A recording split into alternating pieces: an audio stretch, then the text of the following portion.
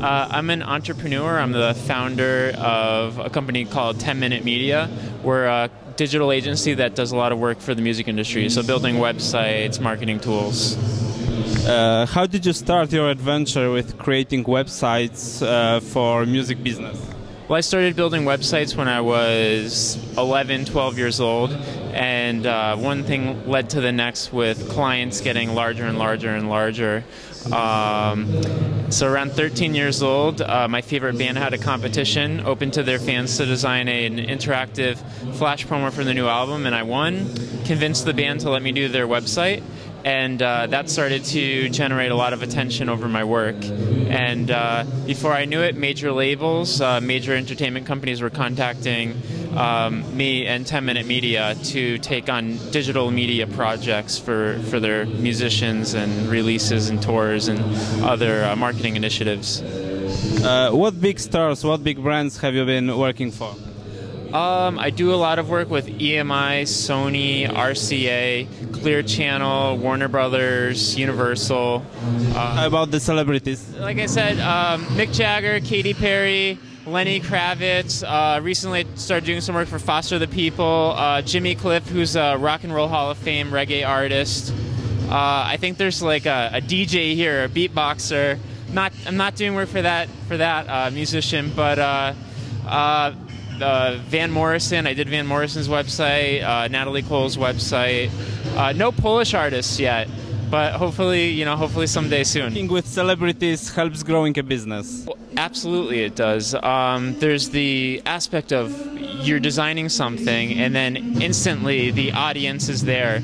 So when you're building something for a brand that already has major brand equity and recognition, the moment you post it, you know, thousands, hundreds of thousands, millions of eyes are on that item. So, for instance, when you know Katy Perry makes makes global news or announces a tour, millions of people are going to a website that that my company uh, designed and developed. So that aspect is really golden. It's a beautiful thing for getting a, a lot, you know, a lot of focus on something you're creating.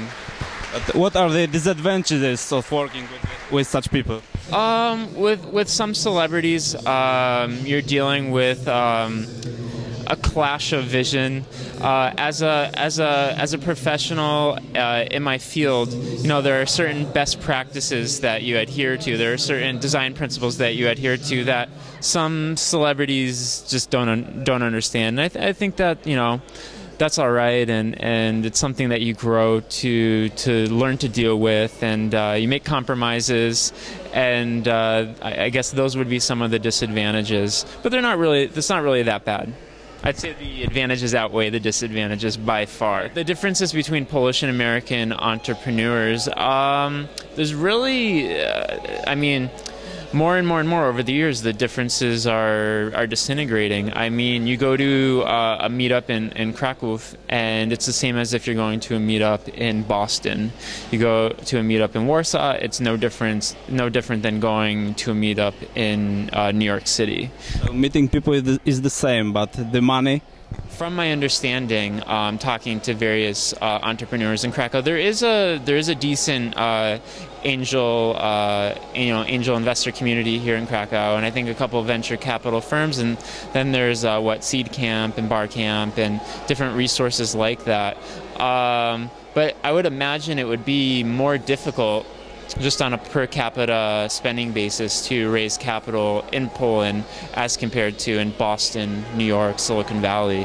Um, it's just it's just a numbers game, and I think that uh, for for a country of its size, I mean Poland Poland's doing quite well on the entrepreneurial side. From what I've read, they have the highest one of the highest entrepreneurial indexes in the, Europe, in the European Union. So that's things like that are really encouraging, and uh, the fact that even today we saw um, Yaromir's uh, company being uh, being uh, invested in by Aaron uh, Patzer of uh, Milk, or sorry, of Mint. Sorry, the beatboxes are the beatbox is throwing me off but of, of Mint is incredibly encouraging for the future of Polish entrepreneurship.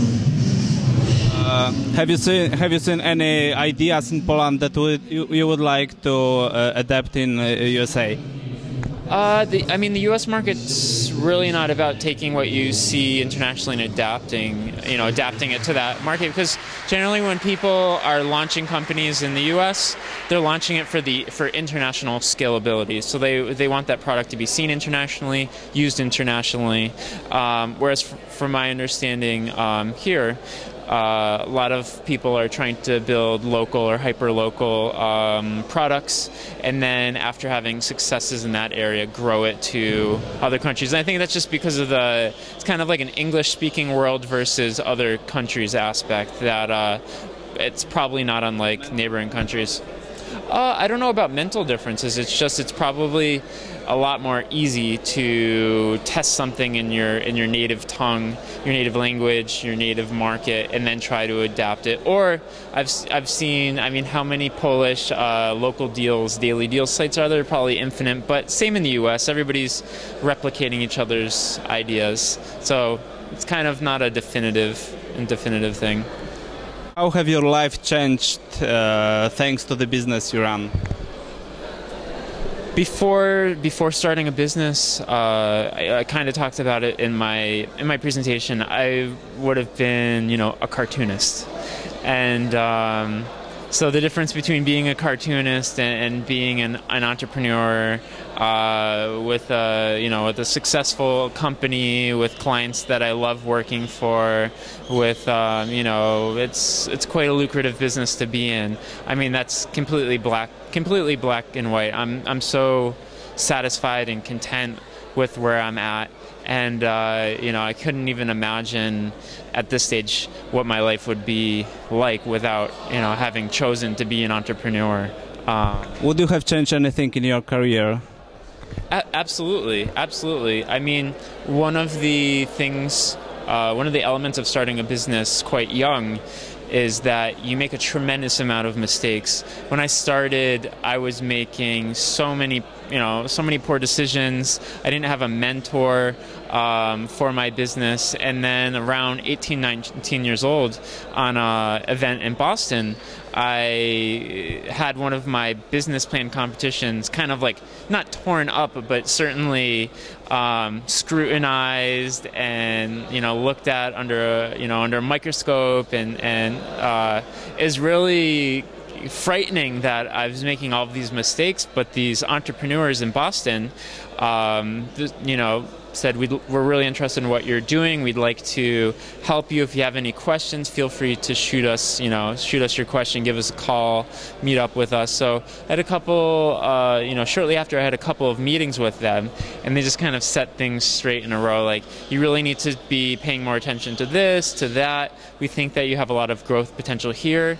Um, so the advice that they gave me was extremely, uh, extremely valuable, and. Um, you know that's something I would have changed earlier is finding those mentors early on, finding people to uh, talk to, those resources. Thankfully, you know college uni- colleges and universities and different um, entrepreneur startup groups have those resources publicly available. But when I started 10 years ago, you know when I was 13, uh, that wasn't the case. Do you think that without uh, committing the mistakes, uh, uh, you would be here where you are now? Um, if I didn't make those mistakes, if you did, yeah, I mean, I think ultimately I would progress to I mean, perhaps I'd be more naive, um, having not made mo- those mistakes, and you're always better off making those mistakes earlier on, let's say, less significant projects than making those mistakes later on when you're talking about big brands, big contacts, big contracts, and um, that can really taint your uh, relationships and your reputation in whatever industry you decide to pursue. So uh, I think that would be the difference uh, if I didn't make those mistakes. Is maybe, you know, I'd be here, but I'd be. Thinking about things completely different. I wouldn't have those experiences. I wouldn't have learned from those failures.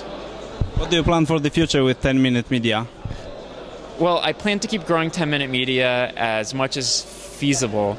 Um, but in the next month or so, I plan to launch more of a product, a software as a service product. Um, that works with the music industry, mobilizing, basically taking uh, artist websites and creating an instant mobile uh, version of that that works on all smartphones, is lightweight, has better user experience than if you, let's say, go to an artist website from your iPhone and then be, you know, kind of. Uh, upset that it doesn't operate the way they're looking for. It takes you a couple minutes or the load time's too long. So this will basically simplify all of that content into what looks like an iPhone uh, application. So that's that's something that will be my first uh, product that I'm introducing um, that I'm really really excited about. So I think that will be something to look out for in the future. Are you going to expand your business um, I deal with I deal with that often. Um, you know, there was a point, and there still is a point where the music industry is volatile and going up and down, and music sales are uh, declining, and there's a bit of uncertainty in that industry. Um, so from that standpoint, you know, to have a buffer in other industries is quite a smart direction to go in. So I have a couple uh, corporations, clients that I work with that aren't music related, um, but I still have you know a majority focus on music because that's my niche market. I'm known in that industry. The last question: How do you like the InternetBeta here? It's been a it's been a great a great event. I've met some incredible speakers. I've listened to some great presentations. Um, thankfully, there's a there's a translator, so I have a headset on and get to uh, hear hear everything in English, so I fully understand. Um, but I've been I've been really impressed. From my understanding, it's it's the largest or one of the largest internet uh, digital conferences in in the country in Poland. So. Uh, you know, I'm really excited to be here. I hope to see, you know, I, I wish InternetBeta all of the successes and future growth, and you know, maybe it will be double this size next year. And uh, you know, the more the more energy that we can create in any place, you know, in, in Poland, the more energy we can create in Poland, that's a great thing. The more energy any city can create or any country can create about the internet and entrepreneurship, collaboration and innovation, um, you know, that's that's that's excellent. That's a great path to be on.